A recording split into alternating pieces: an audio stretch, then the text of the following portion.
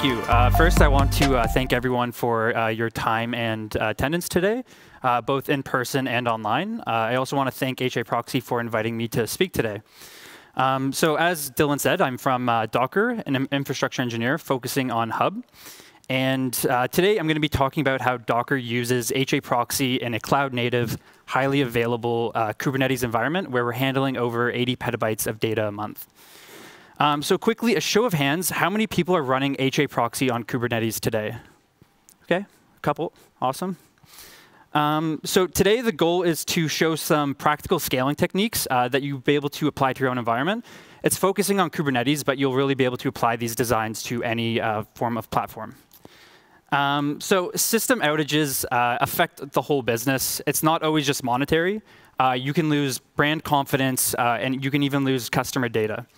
Um, now, eradicating downtime completely, 100%, is impossible. But what we can do is build a highly available infrastructure so this doesn't happen often. Um, so this talk is going to be broken up into three main parts. Uh, one is going to be Dockerizing HA proxy and applying that into Kubernetes with some best practice tips. Um, next, some uh, node, availabil node, availability topics within Kubernetes. So we're going to cover cluster auto-scaling, um, node selectors, blue-green deployment, and over-provisioned nodes. Uh, and then next, we're going to talk about how we scale our HA proxy deployment in Kubernetes. Um, so we're using a tool called Keda for that. So before I begin, uh, what exactly does cloud native mean? Uh, it is a bit of a buzzword, um, and it's an umbrella for all the various tools, techniques uh, that are required to build, maintain, and deploy software on a cloud infrastructure. It's all about building repeatable processes to scale effect effectively and efficiently. Uh, shameless plug, but this is why Docker is a integral part of a cloud-native environment. So Dockerizing HA proxy is really simple. It only requires two files, uh, the Docker file and a HA proxy, HA proxy configuration file, which I'm sure you guys are familiar with. Um, this is also very basic configuration, but it can be extended. Uh, for example, here at Docker, we're extending to install Lua and cron jobs to be able to uh, add extra scripts. So once you have the uh, Docker file, you build the image, uh, then you just push it to any registry of your choosing, hub, or anything else. And then from there, you can just pull directly moving forward. You now have an easily replicatable HA proxy server that will run on any machine with Docker installed. So once that image is pushed to Hub, uh, you can just reference that directly in the deployment. Um, so here, again, is a simple manifest, but we're going to be going over some complexities that we've implemented and have helped us build a resilient uh, deployment manifest. Um, so the first thing is you're going, you're going to add a uh, resource definitions to your deployment configuration. Um, so now my next points may sound a little bit counterintuitive, but it has given us great results and has become an in-house best practice at Docker. Um, so when it comes to resource limits, uh, for memory, what you're going to do is set requests equal to the limits. Uh, simply put, this is because pods are guaranteed their memory and not their, their memory requests, but not their limits. Uh, this will ensure that pods are not trying to take more memory than is actually available on the nodes, which will cause oom kills and uh, eventually outages. CPU is a bit different. We're actually not going to set limits for CPU at all. And simply put, uh, the reason is because uh, if a pod limit is one-tenth CPU, and it does nothing and sits idle for 10 minutes, for 200 milliseconds, it tries to request two-tenths CPU. What's going to happen is that is just going to be throttled, and it's only going to get the one-tenth that it has a limit for. And since CPU killing isn't a thing, uh, resources will never go over. They're just going to be throttled. So this is why you should really uh, make sure that your resource definitions are uh, tuned specifically to your environments and your applications. If you're more curious about this, uh, a blogger named Natan Yellin has some posts that will be linked at the end of the presentation, which do a great job of explaining this. So now that we have, uh, the next thing we want to do is uh, we want at least two replicas uh, within different availability zones. Um, so this way, if anything happens to a pod, uh, the other pod will catch it. And if anything happens to an availability zone, hopefully another availability zone will be there to catch it. Um, so this is done with a uh, topology spread constraint. And basically, the topology key is just a Kubernetes zone uh, taint, which ensures a different availability zone. And then the max skew is the number of pods which can be unevenly distributed, uh, which we're going to keep at one. And then when the conditions can't be met in case of some availability outage or something, it will schedule anyways to ensure that high availability. Uh, lastly, we're going to need to set up a rollout strategy. Um, here, this is very simple rollout, um, but it's going to be tuned to your specific environment. Um, at, uh, at Docker, we're using Keda for scaling, so we're not actually using this. We're going to be, I'll, I'll, go over some more complexities that we use uh, for how we scale. So the first, now that we have a reliable HA proxy deployment, uh, the first node availability topic I want to cover is the cluster autoscaler.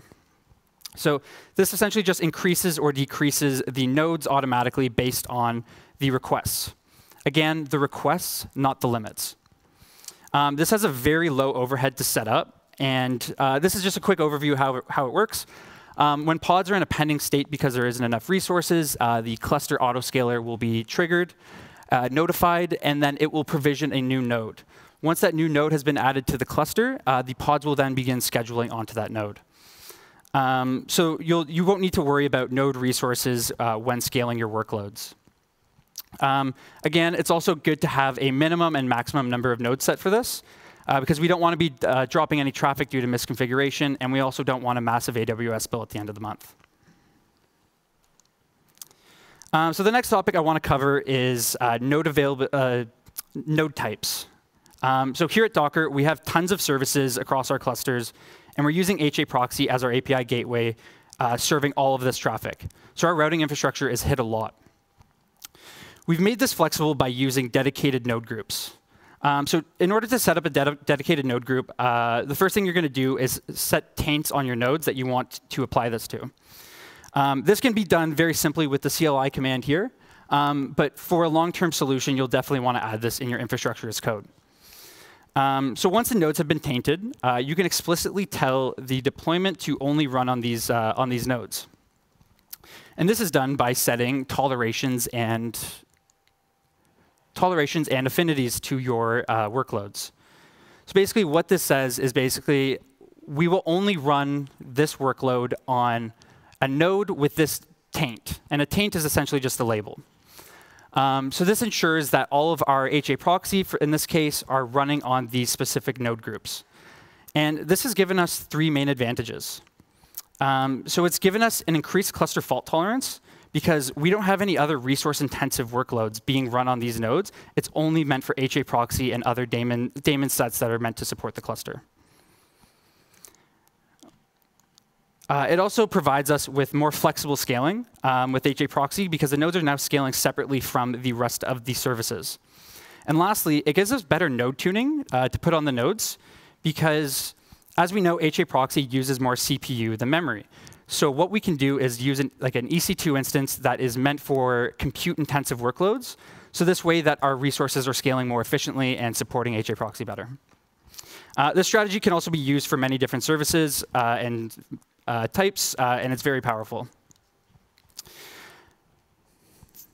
Um, so following from the previous topic, going, I'm going to demonstrate how we're using node groups and node selectors in order to have a blue-green deployment model.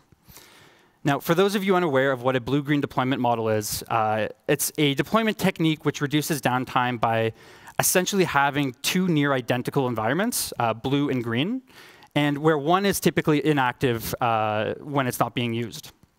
So the inactive color is going to be modified or upgraded, and then the traffic is going to slowly point to that and shift the, shift the traffic. This ensures that pods don't need to roll over and drop those connections. Um, so I'm just going to have a quick visual of how this works. Uh, so as we see here, 100% uh, of our traffic is going to our blue node group. Um, and they're both on version 1. So we're going to run our CI/CD pipeline, and we're only going to upgrade our green uh, node group. And once that's upgraded, we can start running some tests. We can make sure that everything's running properly, everything's working how it's supposed to be. And once we have those confirmation, we can slowly start shifting our traffic from the blue node group to the green node group. And you can do this using a weighted DNS record to be able to shift the traffic. And this will also allow us to, to, uh, to ensure that our traffic is, uh, that our green application is functioning properly. So we're slowly going to just shift it all until eventually it is all the traffic is now going to the green, where the blue node group can now go idle. and we can upgrade that and make sure that this is on the same version. Um, prior to this, we had pods rolling over and nodes rolling over for, for major upgrades, and this was causing us to drop some traffic. Uh, this technique is really useful for things like Kubernetes node upgrades or major versions of HA proxy upgrades that require a full redeployment. So the final topic of node availability I want to cover is over-provisioning. Um, so basically, as the name sounds, it is uh, basically extra idle nodes waiting to pick up pods. Uh, and this is done by tricking that cluster autoscaler we went over before into provisioning an extra node. Um, and the way this is done is actually very simple. It's done by setting a, a deployment, which is a pause deployment, and it essentially does nothing and a priority class with a negative value associated to that deployment. What this allows for us to have is a deployment that will just take resources and make sure that there's an extra node being available at all times. So you may be asking, why are we using a real deployment in order to achieve this? And one of the reasons this is, is because uh, other than CPU and memory resources, other resources can be exhausted, which can cause pods to not start up. Um, for example, an IP address when using VPC CNI in Kubernetes. Proper monitoring will allow us to, to let us know when a pod uh, is not able to start before it hits production. Uh, the drawback to this, of course, is that you're now paying for extra nodes to sit idle. So before considering the solution, you'll definitely want to weigh your availability concerns with your cost concerns. So these five components to a cloud-native uh, Kubernetes environment gives us uh, HA proxy running on a multi-replica resilient deployment on Kubernetes. It gives us horizontal autoscaling uh, of your nodes to fit your resource requirements. It's going to give us dedicated node types for flexible scaling, increased cluster fault tolerance, and improved node tuning. An over-provisioned node for quick startup and insurance that pods can run. And lastly, a blue-green deployment model for Kubernetes and HA proxy upgrades. So this is great, but how do we scale our workloads to match our node dynamic scaling? And when we found uh, Keda, a CNCF pod autoscaling tool, we knew we had found our solution for our scaling requirements. So there is a horizontal pod autoscaling tool native to Kubernetes as it is, called HPA. But this only, this only uses internal events, such as CPU or memory usage. Um, to function, Keda has two main roles, and uh, it uses the Keda agent in order to scale uh, to and from zero. And then it uses the metrics adapter to expose external metrics to the HPA native in Kubernetes. This allows us to scale based on any external metric. Uh, Keda works with multiple workloads such as jobs, deployments, stateful sets, and it is off. It, uh, it is very extensible. It supports over 50 different services. So if you want to scale, maybe based on uh, Redis jobs or S3 metrics, anything like that, you can scale this completely dynamically. It also uses Prometheus, which again allows you to basically scale on any form of event. Um, so we use Keda to scale HA proxy dynamically, and this is what our triggers look like. So we're using CPU uh, at 80%, which is an internal metric. And then we've, we've been using uh, 3,000 active requests, uh, an external Prometheus metric that we pull in and expose to HPA as another form of metric. If either of these are true, we scale up by one, and then we wait a stabilization period. Fine-tuning this is going to be very unique to your own environments. Um, and these are the numbers that we came up with uh, that we saw the best performance and uh, best latency with our systems. But again, they may be different for you. Um, this also provides a more elaborate rollout strategy than previously discussed. Uh, so it has additional configuration available, such as minimum and maximum set, uh, triggers based on any internal or external event, uh, stabilization periods to ensure that you're, once that's rolled out, uh, that the metrics can adapt and breathe to the new, uh, the new rollout. And then it also has a fallback procedure in case anything happens to Keda to make sure that everything's running properly. Um, so if you're looking into scaling any form of Kubernetes uh, workloads dynamically, I definitely recommend this tool. Uh, in conclusion, uh, Docker runs a highly available HA proxy environment uh, with dynamic scalability and resilient node infrastructure. This allows us to efficiently scale above 30 to 40,000 requests a second while generating over 80 petabytes a month uh, without dropping any traffic. By applying these techniques, we are better equipped to, to protect Docker's reputation and meet the needs of our customers, some of who I'm sure are in the audience today. Uh, many of the system designs I outlined today uh, can be applied to your own environments and at your own respective organizations to ensure that your products are built on a strong infrastructure foundation. Because let's face it, nobody wants to get that 2 a.m. call uh, that your system has gone down. Thank you all for your time and attention. Um, I think we have a couple minutes for questions. Otherwise, feel free to contact me via email anytime or talk to me throughout the uh, conference. Big round of applause for Ryan. Give it up. Great job. So we do have a few minutes for questions. Just as before, raise your hand nice and tall so uh, one of our speaker runners can come out to you. And you can also submit questions in the stream chat and also on Twitter if you use the hashtag HAProxyConf. So we did already have a couple questions in the stream, so I'll start with those. The first, as much as you can share, what is your team planning to accomplish next with building and maintaining the Docker Hub infrastructure? Um, I think I can share this. Um, so the, one of the next big projects that we're starting to work on at Docker Hub for our infrastructure is a service mesh. Um, so we've actually chosen Linkerd to uh, apply to our Kubernetes clusters for that extra visibility and observability into our cluster. Uh, it also provides us with mutual TLS, uh, which is great uh, for security.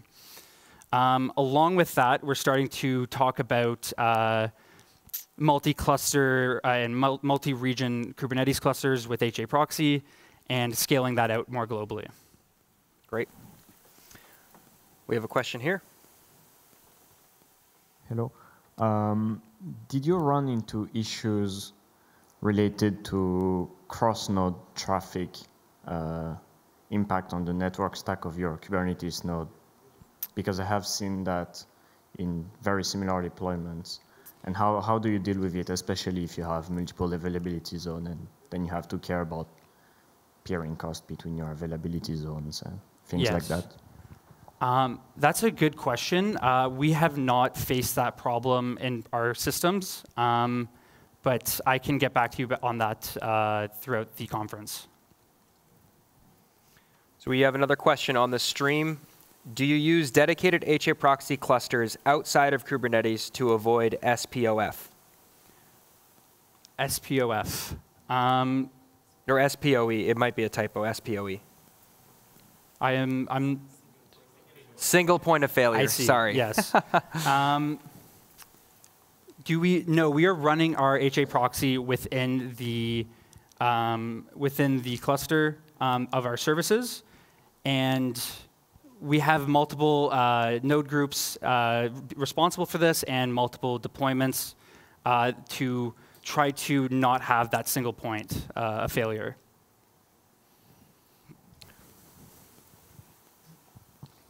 Thank you for your presentation. Uh, have you, you, ever faced uh, any issues uh, with HA proxy with backend size? Uh, you know, you can have different uh, state of uh, of your configuration between different ingresses. Mean that one ingresses could have means 10 backend and, and another nine only. Yes. Um, yes, we. solve it? We we have faced this. we have faced this before in the past. And one of the ways that we solved it was we started using um, consul-template in order to reload our configurations and to sync them. And we also used the CTST uh, plugin in order to pull the backend servers uh, for, for the backends. And then on top of that, we were able to use uh, the HA proxy state file, um, which would save the states uh, during a rollover. Um, and this helped us a lot with uh, not dropping, those, dropping that uh, traffic. Excellent. So that's all the time we have for Q&A. Uh, again, Ryan, you'll, you'll stick around so you can, you can speak to him uh, during one of the breaks, or he also gave his contact information. Once again, a big round of applause to Ryan. Thank you.